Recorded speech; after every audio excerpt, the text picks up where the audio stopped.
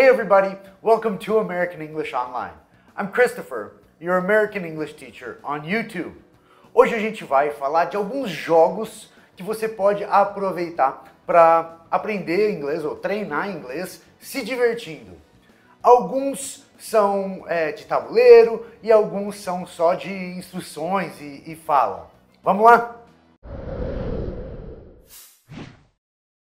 The first game I want to talk about is one of my favorites. It's Scrabble. And my family just bought the Brazilian version. Mas a versão brasileira é um pouquinho diferente da versão em inglês. É, na versão brasileira não tem a letra K, W e Y. Mas o jogo é mais ou menos o seguinte: você tem um tabuleiro enorme e você vai montando palavras com as letras que você tem. You take seven tiles and then you try to form words like cross, across, and vertical, and you try to use your the other player's letters. Então vira um bololô de palavra, mas é super legal para treinar. E como com qualquer jogo, para você usar para praticar inglês, às vezes é interessante você modificar um pouco a regra. Por exemplo, no Scrabble, você não pode usar um dicionário para encontrar uma palavra para escrever. Você só pode conferir se o que você colocou é uma palavra ou não, né, de acordo com a, é, o desafio de um dos outros. Mas você modifica né, a regra e você pode usar para treinar. E é muito divertido. Acho que é o jogo que eu mais gosto. O próximo jogo, que é super divertido, ele é Headband. Esse jogo, como você pode ver na foto, cada pessoa coloca uma bandana, a headband, na cabeça e cada um tem uma palavra. Você consegue ver de todo mundo, mas não a sua. E o jogo segue com cada um tentando descrever é, a palavra, que pode ser uma pessoa, um lugar, pode ser qualquer coisa. E o jogo vai se desenrolando, você tem que entender o que a pessoa está explicando e tentar adivinhar a palavra. Esse jogo é bem legal também porque você não precisa comprar isso. Você pode montar, coloca alguma coisa para segurar, segurar a palavra. Mas você também pode jogar uma variação que chama Fishbowl. Fishbowl é uma brincadeira muito, muito divertida e também super conhecida, até no meio de aprendizado de inglês.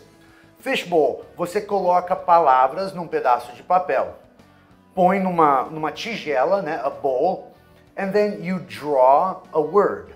When you draw a word, you have to explain the word or describe, and you have to help the other people guess the word.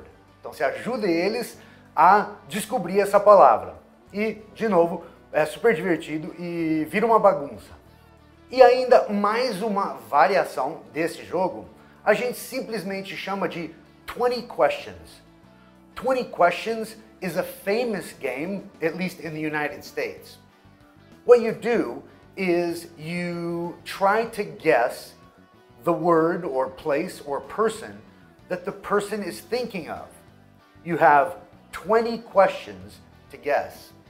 E esse jogo é muito comum quando você, por exemplo, viaja em família, tá todo mundo no carro, é super comum você brincar de 20 questions. Uma pessoa tem 20 perguntas para tentar adivinhar. Ou a família inteira pode usar 20 perguntas. Mais um jogo top, esse precisa sim ser comprado, ele é Boggle. E aqui você vê, está escrito Junior. Alguns jogos têm a versão normal e a versão Júnior, que acaba sendo uma versão um pouco mais fácil. Aqui você vê as cartas têm fotos. Mas o jogo Boggle, basicamente, ele é um, um container cheio de letras, dados com letras diferentes de todos os lados. Você chacoalha ele e você tem que formar palavras, o máximo de palavras possível, num tempo. And we keep time with an hourglass. So you turn the hourglass and you have maybe 60 seconds, I think, to form words. Of course, you want lots of words, but longer words give you more points. So a three letter word is good, but a four letter word is better.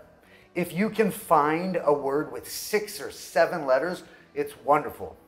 Outro jogo que eu acho muito legal, que eu jogava em Sampa com os meus amigos Marcão e Celinha, chama Dica, mas em inglês chama The Dictionary Game. The Dictionary Game é legal, é divertido pra caramba, mas tem que ser modificado um pouco. Por quê? Nesse jogo, você escolhe uma palavra difícil do dicionário, escreve a definição certa e mais a sua, que não é a verdadeira, e todo mundo é, escreve uma definição também.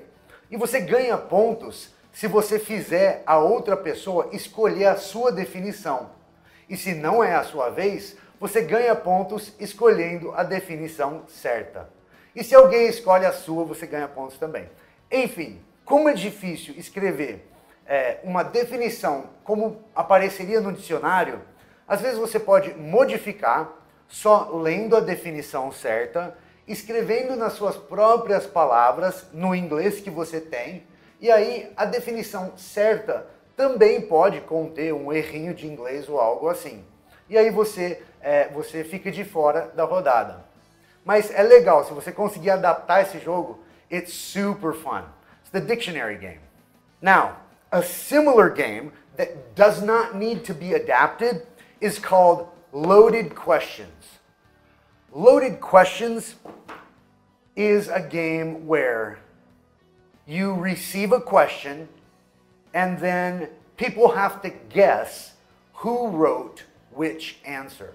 Então, é basicamente você vai receber, né? Durante o jogo você recebe uma carta com alguma pergunta, né? Tem categorias diferentes de perguntas e você tem que responder essa pergunta. E a brincadeira do jogo é cada um tem que tentar acertar quem escreveu cada resposta.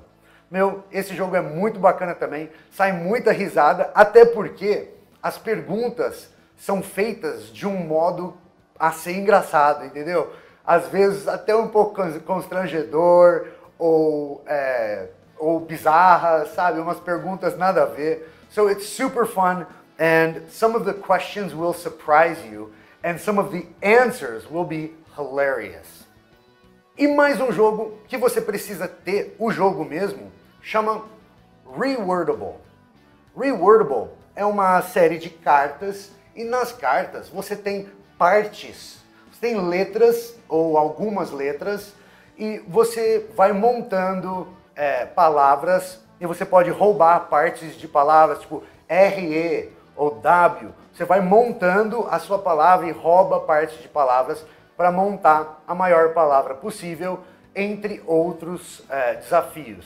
Então esse jogo é muito divertido também. Chama Rewordable. Mas tem muitos jogos que você pode se divertir sem comprar nada. Já falei de alguns. Mas um jogo famosíssimo que a gente brinca no Brasil é o stop. Stop pode ser jogado em inglês e é um pouco mais fácil, mas ainda assim é um desafio. Because you need to choose a letter and then you have to write a city, a state, a country, or an animal, a fruit, or a food, whatever, a car, right? You have to write down a series of different things that start with that letter. So Stop is a very famous game. It's a fun game, and I definitely will uh, would advise you to play it. Another game that is worth your time is called Chinese Whispers. Talvez você conheça por outro nome, Broken Telephone, ou só Telephone. E é esse jogo mesmo que você está pensando. You have a line of people one person starts a spoken message, né? Então é uma frase falada on one side of the line. And one by one, you pass the message to the next person. And then at the end, you see what the person understood. Because the message changes just a little bit all the way to the end of the line. Okay? So that's a good way to practice your listening and your speaking. The last game, which I think is also awesome, is called I'm Going to the Moon. Eu vou para a Lua. Não sei se existe esse em português. é, eu vou para a lua e eu vou levar um. Ah, eu acho que tem sim. I'm going to the moon and I'm taking. And this game is just a vocabulary game. É, existe a versão onde a pessoa só pode levar aquela coisa para a lua se ela entender é, o segredo do objeto que ela escolhe. Mas você pode usar só para fazer uma brincadeira divertida de memória e também de associação de, de palavras, pronúncia, letra. So that's another game that you can use to practice English. Okay, so those are just some ideas. There are lots of games you can play. Personally, I love trivia games. So there's a game called Trivial Pursuit. It's a board game, so you have to buy it. And there's Trivial Pursuit Junior, okay? So it's a little bit easier. And basically, you have to answer questions about science and nature, history, geography, entertainment, sports and leisure, and other topics. And for each time you win, you get a, a, pie wedge, right? So there's a circle, and there are pie wedges, slices, that you put into the circle. And whoever fills it first wins. So that's a, an information game. I really like those. Okay, but there are tons of games that you can play. Eu sugiro, tá?